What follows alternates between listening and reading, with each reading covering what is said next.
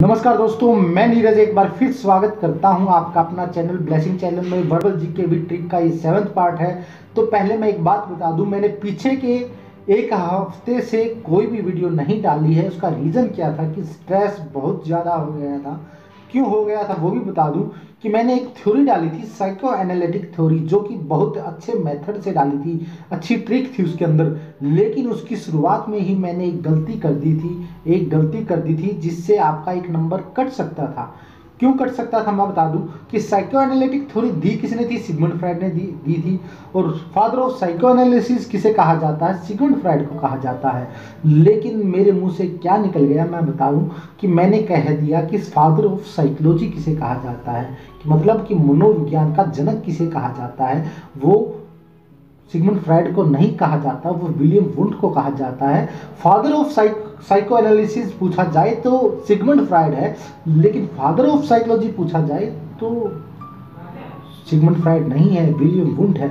तो यहाँ पर स्ट्रेस हो गया था क्योंकि एक वीडियो को बनाने में 9-10 घंटे लग जाते हैं और मैं एडिटिंग कर कर उसको मैं ठीक भी कर सकता था, लेकिन मैंने की नहीं क्योंकि मुझे एक टीचर की बात याद आ गई कि एक टीचर ने कहा था कि यदि क्वेश्चन बीच में से गलत हो जाता है, आपका कोई क्वेश्चन गलत हो जाता है तो आप शुरुआत से शुरू करें कि बीच में से क्या पता कहाँ पर गलती निकल जाए। तो इसलिए मैंने वो वीडियो डिलीट कर दी स्ट्रेस इसलिए आ गया क्योंकि पीछे के एक महीने से आपने इतना ज़्यादा सपोर्ट किया है मुझे। एक लाख एक लाख बत्तीस हज़ार मिनट से भी ज़्यादा आपने मुझे देखा है पीछे के एक महीने में। तो इतना विश्वास आपने मुझ पर दिखाया है और मेरे, आपका विश्वास टूट जाता, टूट कि मैंने गलत वीडियो डाली है क्वेश्चन गलत उसमें आ गया है। तो आपका विश्वास मुझ पर से कम ना हो तो मैंने पहले ही वो वीडियो डिलीट कर दी है। लेकिन मैं फिर भी आपसे माफ़ी मांग रहा हूँ। लेकिन मेरा जो जीके पढ़ाने का जो मेथड होता है, वो आपको फिक्स करना होता है। तो हो सकता है जो मैंने गलत पीछे बताया था, वो गलत फिक्स हो गया हो कि फादर ऑफ़ साइकोलॉजी कौन? सिगमंड फ्राइड ये गलत आपके दिमाग में सेट हो गया हो तो मैं निकाल भी दूँगा उसको। लेकिन फादर ऑफ़ साइकोलॉजी कौन है? विलियम वुंट है। वो भी कब याद आया? मुझे, मैं आपको बता दूँ, मैं उसको बनाने, बनाकर डाल भी दी, मुझे याद नहीं आया। सोया हुआ था तो दिमाग में हलचल हलचल सी हुई। मेरे दिमाग में आया कि 1879 में फ़र्स्ट जो पहली प्रयोगशाला ओपन की गई थी, वो विलियम वुंट ने की थी। जब मुझे ध्यान आया, यार फादर ऑफ़ साइकोलॉजी तो विलियम वुंट है। सिगमंड फ्राइड तो नहीं है, मैंने सिगमंड फ्राइड कैसे नाम ले दिया तो स्ट्रेस तो एक हफ़्ते से ऐसा ही दिमाग हलचल रही, और स्ट्रेस भी बहुत रहा। फिर मुझे एक, जो फनकार है, उनकी एक लाइन याद आई, दिलवर जी की, तब मैं आज ये वीडियो बना रहा हूँ, एक हफ़्ते के बाद। उनकी क्या लाइन थी, मैं बता भी दूँ कि उन्होंने क्या खूब कहा है कि हर मुश्किल का हल होता है, आज नहीं तो कल होता है। हर मुश्किल का हल होता है, आज नहीं तो कल होता है। आज को कल पर मत जाने दे, कल तो आखिर कल होता है। तो मैं आज ये वीडियो बना रहा हूँ father of psychology William Wundt है। याद कैसे करें उस पर आ जाते हैं पहले कि William Wundt father of psychology तो विलियम जेम्स भी साइकोलॉजी साइकोलॉजिस्ट हुए हैं विलियम जेम्स नाम से। तो क्या है कि जब भी ये क्वेश्चन आएगा कि फादर ऑफ़ साइकोलॉजी कौन है तो आपके ऑप्शन में विलियम जेम्स भी पाएगा गारंटी की बात है। विलियम वुंट्स तो हर हालत में होगा क्योंकि विलियम वुंट ही क्या है? Father of psychology father of psychology तो विलियम वुंट और विलियम जेम्स दोनों ऑप्शन में पाएँगे hundred two hundred percent sure है। तो विलियम जेम्स, आप फिर कंफ्यूजन हो सकती है, जो जिस दोस्त को याद नहीं रहता हो कि फादर ऑफ़ साइकोलॉजी कौन है तो उनको ये कैसे, वो याद कैसे करें उस पर आ जाते हैं। तो आप एक बात ध्यान दें कि विलियम वुंट वुंट मतलब जब भी हम कोई काम करते हैं तो क्या करते हैं? अच्छा कोई काम की शुरुआत करते हैं तो हम क्या करते हैं? हम अच्छे से कपड़े पहनते हैं, सूट बूट अच्छे तरह से तरीके से हम किसी काम को शुरुआत करते हैं तो अच्छे सिस्टमेटिक ढंग से करते हैं। हम भी तैयार होते हैं, सूट, बूट पहनते हैं।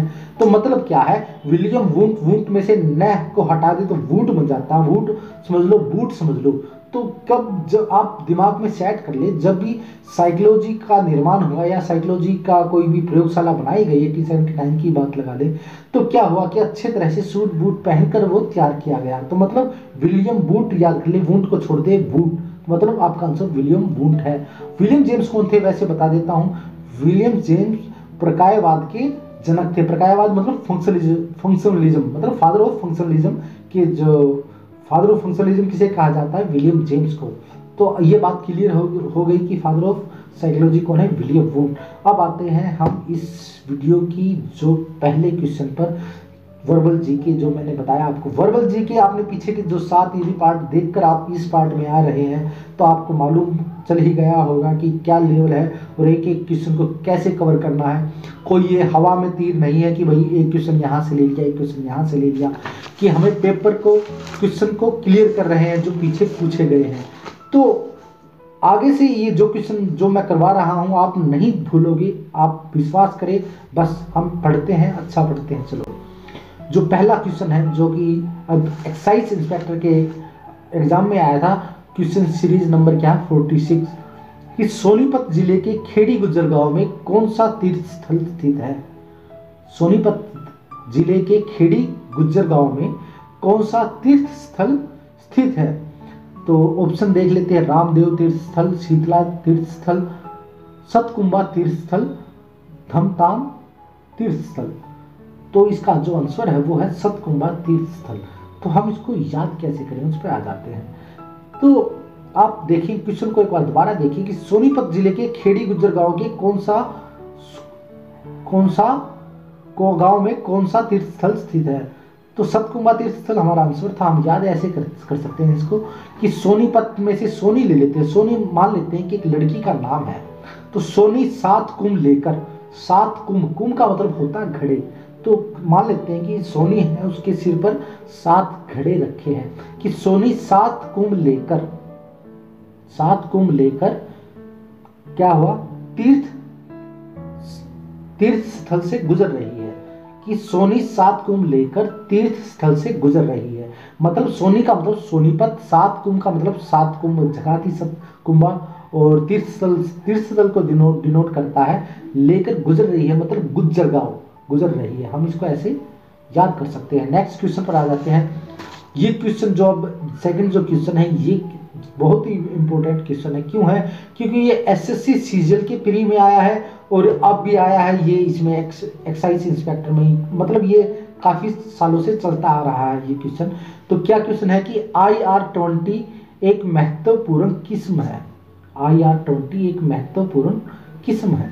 किस चीज़ की किस्म है? गेहूँ की, बाजरे की, जवार की, धान की। तो हमारा जो आंसर है वो धान है। तो हम इसको कैसे कर सकते हैं? आप ध्यान से देखिए। मैंने पीछे वर्बल जीके में आपको एक जगह बताया भी था कि जो अल्फ़ाबेट होते हैं, वो उनको कैसे याद किया जाए? अल्फ़ाबेट को कैसे याद किया जाए? मतलब कि ए का स्थान एक है, बी का दो है, तीन, सी का तीन है, ऐसे हम याद करते हैं ना। तो ऐसे ही हम यदि याद करें कि ए का स्थान एक है, पीछे से ए का एक पहला स्थान किसका होता है? जड का होता है। बी का स्थान आगे से दो है तो पीछे से दूसरा स्थान किसका होता है? जड का, उसका वाई का। सी का स्थान आगे से तीन है तो पीछे से किसका स्थान तीसरा होता है? एक्स का। ऐसे, आगे दाई और बाई से यदि देखें तो हम कैसे याद कर सकते थे उसको? ए को हम आज कर कर बी से बाई सी से कक्स डी से डी से वाले ई से ई करके ऐसे हमने ये अल्फ़ाबेट याद करवाए थे। मैंने पीछे आप ध्यान से देख सकते हैं। तो ऐसे ही हम इसको याद करते हैं। देखो आई आर ट्वेंटी एक महत्वपूर्ण किस्म है, किस चीज़ की है? धान की। तो आई का अपोजिट आर होता है और हमने याद कैसे किया था? इंडियन रेलवे आई का स्थान आगे से नो होता है। पीछे से अल्फ़ाबेट में देखा जाए, नौवा स्थान किसका होता है? आर का होता है। और याद कैसे किया था हमने? इंडियन रेलवे तो हम इसको ऐसे ही याद कर लेते हैं। तो क्वेश्चन था आई आर ट्वेंटी एक महत्वपूर्ण किस्म है। तो हम इसको याद कैसे कर लेते हैं? कि यदि हम एक छोटी सी लाइन बना लेते हैं कि इंडियन रेलवे के सैनिक इंडियन रेलवे के सैनिक ट्वेंटी ट्वेंटी मैच मैच में ट्वेंटी हमें ट्वेंटी को ही डिनोट करता है कि इंडियन रेलवे में सैनिक ट्वेंटी ट्वेंटी मैच में चावल खा रहे हैं। मतलब चावल का मतलब धान। चावल धान धान को चावल ही तो कहते हैं, चावल धान। तो क्या कर सकते इंडियन रेलवे के सैनिक ट्वेंटी ट्वेंटी मैच में चावल खा रहे हैं। तो मतलब क्या है? आपका आंसर आ जाता है इसमें। इसके बाद जो क्वेश्चन आता है, ये क्वेश्चन एक बार ध्यान से देखिए कितने क्वेश्चन कवर हो जाते हैं इसमें कि निम्नलिखित में से कौन सा राज्य मक्के के उत्पादन में प्रमुख है? तो ऑप्शन है उत्तर प्रदेश, हरियाणा, आंध्र प्रदेश, महाराष्ट्र। तो आंध्र प्रदेश है, वो है मक्के के उत्पादन में प्रमुख है इनमें से। तो आंध्र प्रदेश आपको कुछ याद आया हो? पीछे की वीडियो में मैंने बताया था कि जो कुचिपुड़ी नृत्य होता है, वो आंध्र प्रदेश का है, लोक नृत्य। और याद कैसे करवाया था मैंने? कि अंधे कच्ची पूरी खाकर नृत्य करने लगे। मतलब अंधे से मतलब आंध्र प्रदेश। और कच्ची पूड़ी मतलब कुचिपुड़ी। कच्ची पूरी मतलब कच्ची पूड़ी खाकर नृत्य करने लगे। मतलब आंध्र प्रदेश का जो लोक नृत्य है, वो क्या है? कुचिपुड़ी।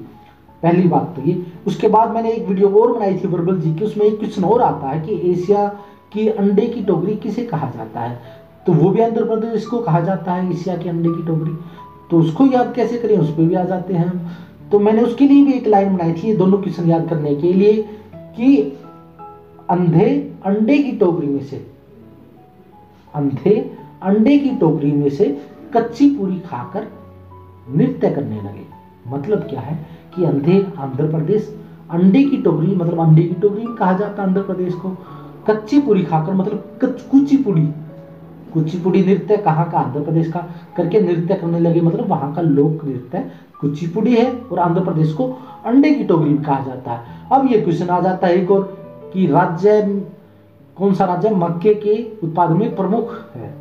तो आंध्र प्रदेश है इसका आंसर भी। अब हम इसको भी इसमें डिकोड कर देते हैं। ये एक ही लाइन के अंदर तीनों क्वेश्चन कवर कर देते हैं।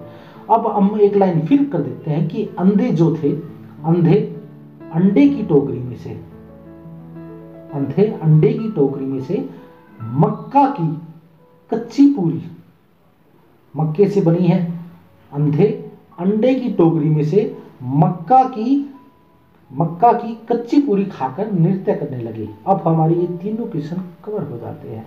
कैसे होते हैं? कि अंडे अंडे की टोकरी किसे कहा जाता? है आंध्र प्रदेश को। और मक्के की रोटी खाकर मतलब मक्के का उत्पादन भी आंध्र प्रदेश करता है। और कच्ची पूरी मतलब कुचिपुड़ी जो नृत्य है, वो कहाँ का है? आंध्र प्रदेश का। ये तीनों क्वेश्चन एक क्वेश्चन के अंदर, एक लाइन के अंदर बन जाते हैं, आ जाते हैं। उसके बाद आ जाता है कि हरियाणा केसरी के नाम से कौन विख्यात है? बिल्कुल सिंपल क्वेश्चन है, लेकिन आप आ रहा है ये पीछे से कई साल तक के आप एग्ज़ाम देख ले हरियाणा की, ये क्वेश्चन बार बार आ रहा है और कन्फ्यूज़न किसमें रहता है वो भी मैं बता देता हूँ। ऑप्शन देख लेते हैं। पहले पंडित नेकीराम देवीलाल बंसीलाल भगवत दयाल शर्मा। अब कन्फ्यूज़न भी मैं बता देता हूँ किस किसमें रहता है। देवीलाल और बंसीलाल में कन्फ्यूज़न नहीं रहता। कन्फ्यूज़न रहता है पंडित नेकी राम शर्मा आंसर है या भगवत दयाल शर्मा आंसर है। हरियाणा केसरी के नाम से कौन विख्यात है? क्वेश्चन ये था। तो हमारा आंसर है पंडित नेकी राम तो एक बात याद रखिए, भगवत मैंने ये भी याद करवाया था कि भगवान, भगवत दयाल शर्मा कौन है? वैसे भी आपको पता होगा कि मुख्यमंत्री है। मैंने भगवत गीता से डिकोड किया था जो पीछे की जी के पिछला पार्ट है, जो इससे उसमें आप देख सकते हैं। बार बार बताना ठीक नहीं लगता। तो पंडित नेकी राम इसका आंसर है तो हम इसको याद कैसे करें? तो एक बात याद रखें हम, जो केसरी रंग है ना जो केसरी रंग, आपने देखा अब यूपी में ज़्यादा इसका फेम हो रहा है। वैसे भी केसरी रंग देखा जाए तो हम देखते हैं यदि रामायण ही देख लेते हैं तो हनुमान हनुमान ये कहीं पर भी हनुमान मंदिर होता है वहाँ पर केसरी रंग का महत्व होता है। केसर चढ़ाया केसरी रंग का वो सिंदूर सा चढ़ाया जाता है। केसरी रंग का फ्लैग भी होता है झंडा भी होता है, कपड़ा भी होता है। उस चीज़ को ध्यान रखिए। अब हम इसको पढ़ते हैं। एक लाइन पढ़ते हैं कि हरियाणा में केसरी रंग नेकी का प्रतीक है। हरियाणा में जो क्या है? केसरी रंग नेकी का प्रतीक है। राम के साथ साथ चला था ये रंग। आप सोच कर देखिए कि राम के साथ हनुमान चले थे। हनुमान चला था मतलब केसरी रंग भी चला था। अब देखो, हरियाणा में केसरी रंग नेकी का प्रतीक है। राम के साथ चला था शर्मा जी ये ये रंग। हम ऐसे कर सकते हैं। इससे क्या होता है कि नेकी नेकी यहाँ नेकी राम को डिनोट करता नेकी, बीच में राम भी आता है कि राम, नेकी राम और शर्मा भी आता है। और केसरी रंग भी आ जाता है कि हरियाणा में केसरी रंग नेकी का प्रतीक है। राम के साथ चला था ये शर्मा जी। हम ऐसे करके इसको याद कर सकते हैं।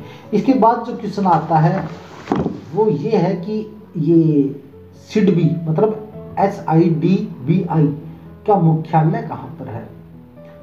तो सिडबी ऐसे बिल्कुल ऐसे के ऐसे क्वेश्चन आया था आपकी बार ये तो मुंबई में, कोलकाता में, नई दिल्ली में, लखनऊ में, कुछ ये वीडियो ज़्यादा बड़ी हो जाएगी, इसको मैं ये डिटेल में बताने लग जाऊँ सी क्या है।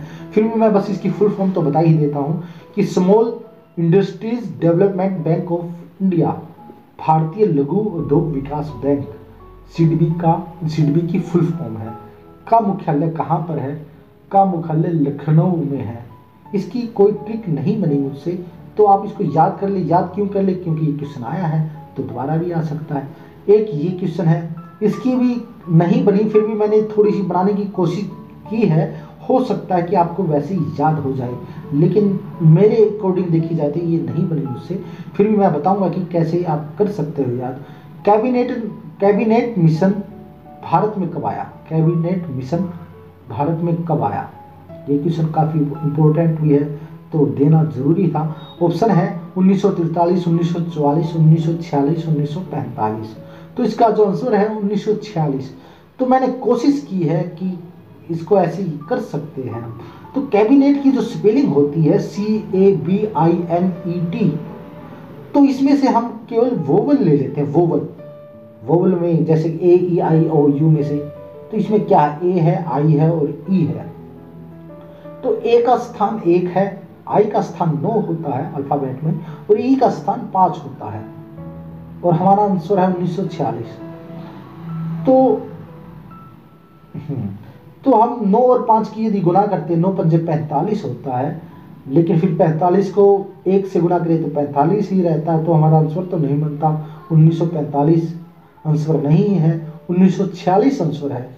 तो हम बस एक छोटा सा दिमाग में लगा सकते हैं कि भाई नौ पाँच की जब गुना करते हैं, आई और ई की हम जब गुना करते हैं, पैंतालीस आता है, और पैंतालीस को एक से गुना करें तो कोई फ़र्क नहीं पड़ता इसलिए हम इसको जोड़ देते हैं, पैंतालीस प्लस एक तो छियालीस बनता है तो मतलब 1946 हमारा आंसर है। हाँ बस दोस्तों, इस वीडियो में इतना ही, क्योंकि ज़्यादा बड़ी हो जाएगी। अगर इस वीडियो के माध्यम से आपको कोई भी क्वेश्चन याद हुआ हो तो आप मेरी वीडियो को लाइक कर सकते हैं।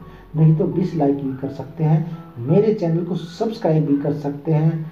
और यदि आप सब्सक्राइब कर रहे हैं तो आप बेल आइकॉन दबाना न भूलें, क्योंकि उससे नोटिफिकेशन आपके पास आती रहेगी कि भाई वीडियो कोई नई डली है या नहीं डली है। अच्छा दोस्तों, जय हिंद।